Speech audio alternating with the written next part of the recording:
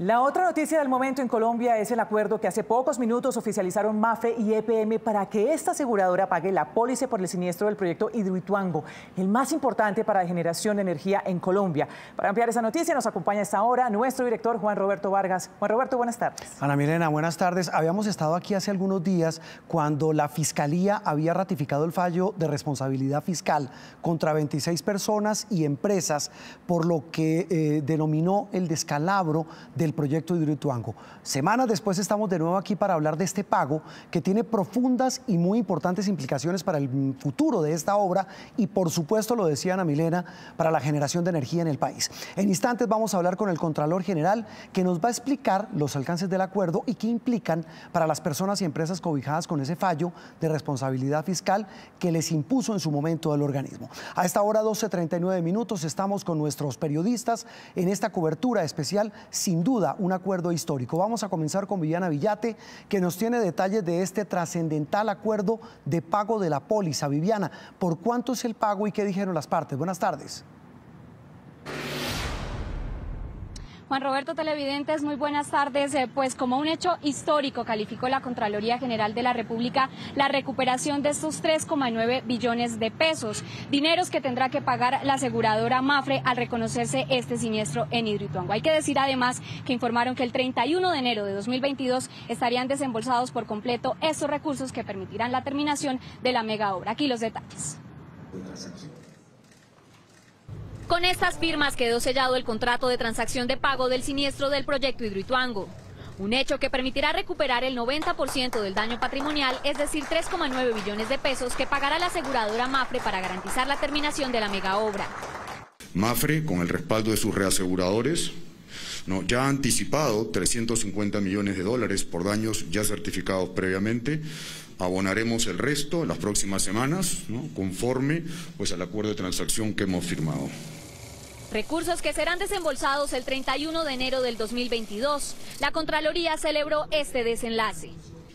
Es la primera vez que un órgano de control, con la colaboración de los gestores fiscales, pues logra evidentemente recuperar para el país un proyecto, óiganlo bien, de la envergadura de la central hidroeléctrica Hidro Ituango. Antes teníamos que conformarnos con llorar sobre la leche derramada. Por su parte, el presidente Iván Duque ratificó la salvación del proyecto que garantizará el 17% de la energía del país y reiteró que fue un siniestro lo que pasó en la central hidroeléctrica. Lo que ocurrió en Hidroituango es un siniestro. Y los siniestros se tienen que atender a través de los sistemas de aseguramiento. Para eso existen los seguros. Para eso se ha desarrollado en Colombia un mercado de seguros riguroso, y certero. Sin embargo, el alcalde de Medellín, Daniel Quintero, reiteró su posición sobre la responsabilidad de los contratistas del daño, pero celebró la recuperación de estos recursos. El fallo de la Contraloría deja unos responsables fiscales claros. Si hubiera sido un accidente no hubiera, no hubiera habido fallo de la Contraloría, pero el mismo informe de la reaseguradora Mafre dice que fue falla de los contratistas, de los diseñadores y que está cubierto y por eso están pagando. Según lo informó el presidente Duque, con este logro la primera turbina de la central hidroeléctrica estaría operando en junio de 2022. Asimismo, le pidió al Banco Interamericano de Desarrollo que no se retire de este proyecto.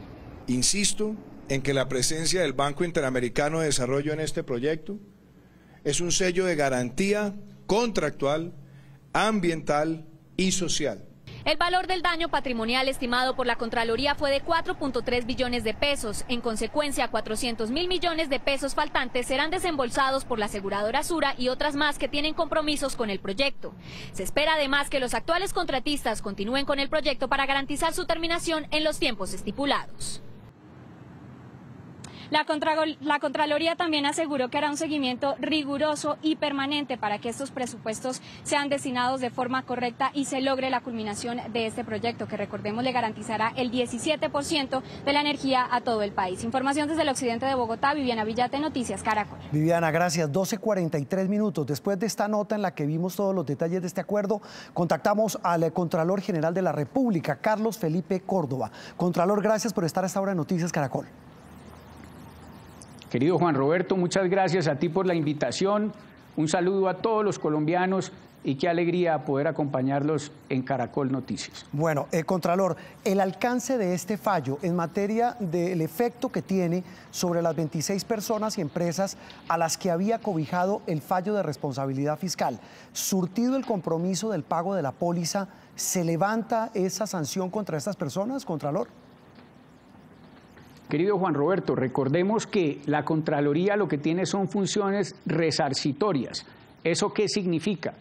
Que si recuperamos el recurso, que en este caso son alrededor de 4.3 billones de pesos, y hoy hicieron algo histórico y es firmar un contrato de transacción por 3.9 billones de pesos, pues efectivamente se cesan o terminan los efectos de ese fallo de responsabilidad fiscal. Por eso la gran importancia y que celebramos el día de hoy de que algo histórico, porque no tiene antecedentes, se haya logrado para el país y que pueda además garantizar la terminación del proyecto Hidro Ituango, de gran importancia para todos los colombianos. Eh, surtido ese trámite, Contralor, las empresas eh, que hacen parte del consorcio constructor y que habían sido cobijadas con ese fallo fiscal, ¿pueden continuar eh, construyendo, acabando el proyecto, realizando la obra? Querido Juan Roberto, nadie tendría en ese sentido, en el momento que paguen los 4.3 billones, en ese momento no, no habría ni sanciones ni inhabilidades para ninguna persona, porque efectivamente se está recuperando los recursos de los cuales el fallo de responsabilidad fiscal pues dijo que habían sido como daño al patrimonio en este sentido de EPM y de los colombianos. Habría inhabilidades de tipo político y se lo pregunto por el caso puntual de Sergio Fajardo que hacía parte del grupo de, de personas naturales cobijadas con ese fallo de responsabilidad fiscal. Pues de una u otra manera, querido Juan Roberto, recuerda muy bien que la Contraloría aquí trabaja es por todos. Allí habían 26 personas y como te lo había dicho anteriormente, para ninguna de ellas, ni personas naturales ni jurídicas, habría ninguna clase ni de inhabilidad ni de sanciones por la recuperación del recurso. Pues que esto es un hecho fabuloso, maravilloso lo que ha sucedido la mañana de hoy, que haya un compromiso por parte de la aseguradora Mafre de pagar 3.9 billones de pesos, semejante cifra, para la fecha del 31 de enero y que ya haya expresado la aseguradora Sura que va a pagar alrededor de 100 millones de dólares, en donde llegarían a esos 4.3 billones de pesos, pues efectivamente con los otros aseguradoras, AXA Colpatria y algunas otras podrían efectivamente decirse que estarían llegando a estos 4.3 billones de pesos y cesarían los efectos del fallo de responsabilidad fiscal. Contralor, le habla Ana Milena Gutiérrez. Para claridad de todos los colombianos, con estos 3.9 billones de pesos, ¿qué tanto se está salvando este proyecto? Ana Milena, es que, que se desembolsen 3.9 billones de pesos, de 4.3 hablamos del 90%, óiganlo bien, del 90% de lo que había tasado en el daño la Contraloría por el proyecto Hidro Ituango. Recordemos muy bien que en el año 2018 hubo una gran eventualidad. Hasta el municipio de Puerto Valdivia casi pues desaparece por la problemática que se tuvo. Aguas abajo habían otros municipios que tenían gran preocupación por lo que fuese a suceder. Y por eso la Contraloría entró en su momento por un control excepcional. Y en ese sentido fue que rápidamente, como ustedes han visto, ya no ni cuatro años ni cinco años después, pues se tomaron decisiones en un fallo de responsabilidad fiscal y hoy para el país se le está recuperando a los colombianos esos 3.9 billones de pesos. Y hay promesa también en físico por parte de la aseguradora Sura, de sus abogados, de que al 20 de diciembre querrán pagar también los 100 millones de dólares por parte de ellos y lo propio las otras aseguradoras. Eh, Contralor, el presidente dijo en ese evento que ya no hay excusa, y, lo leo textualmente, no existe ni razón o excusa para alterar el curso de los contratos de construcción, interventoría y gestión estructural de la obra. Hablamos del proyecto Hidroituango. Es decir, para claridad de los televidentes, la obra va a seguir su curso. Pues la obra efectivamente debería seguir el curso que tiene el día de hoy y pues eso es decisión efectivamente de otras instancias. Ya la Contraloría no tiene ni debe incorporarse en la toma de decisiones porque estaríamos coadministrando.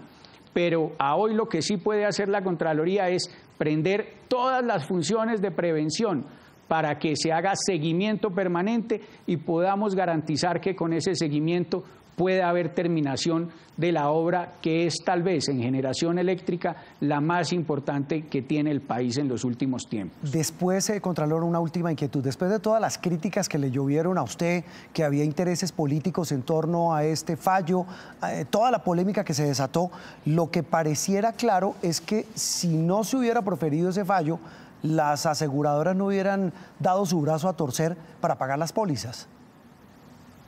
Pues querido Juan Roberto, gracias por hacer esa pregunta, pero yo te la respondo de la siguiente manera. Año 2018, 19, 20 y 21 solo habían pagado 350 millones de dólares.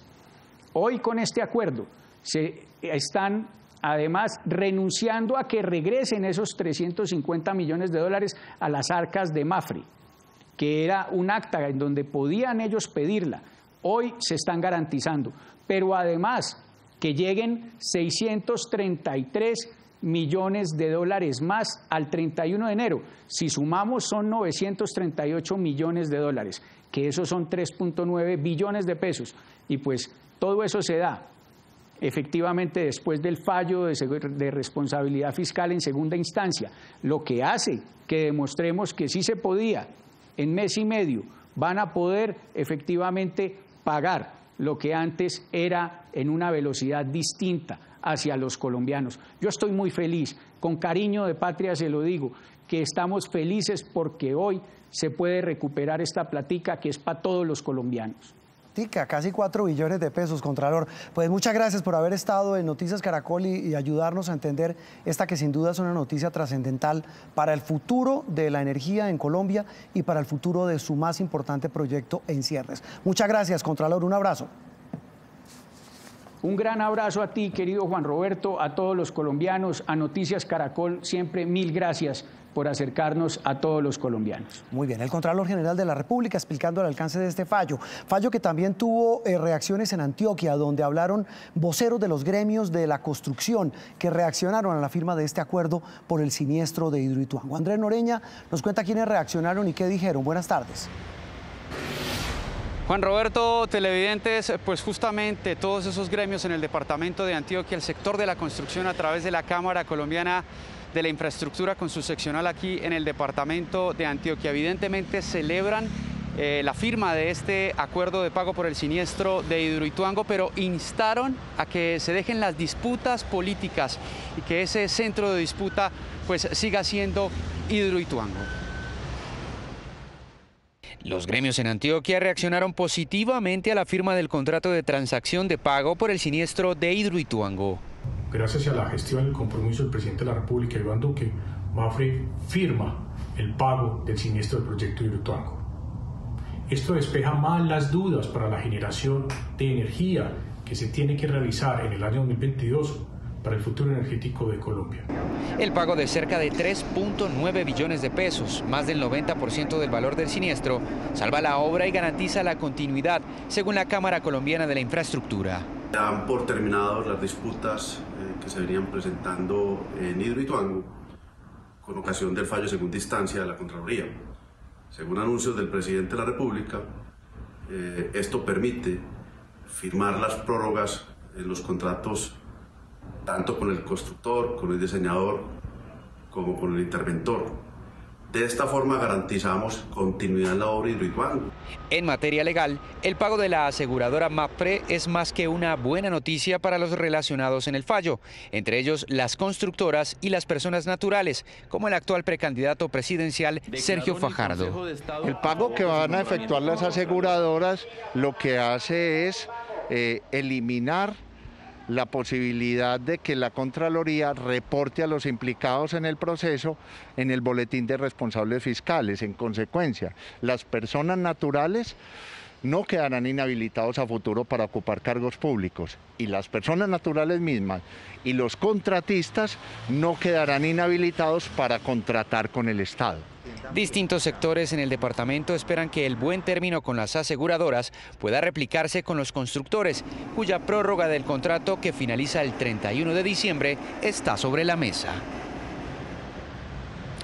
Y con el pasar de los minutos, pues eh, siguen conociéndose reacciones, en este caso de sectores políticos. Ha hablado el gobernador de Antioquia, también distintos diputados en la Asamblea Departamental y concejales de Medellín. Todos coinciden en lo mismo, en que esa solución era la que se dio justamente hoy, eh, la firma de ese acuerdo de pago del siniestro por parte de la principal aseguradora que tiene Hidroituango. Información en la capital de Antioquia, Andrés Noreña, Noticias Caracol.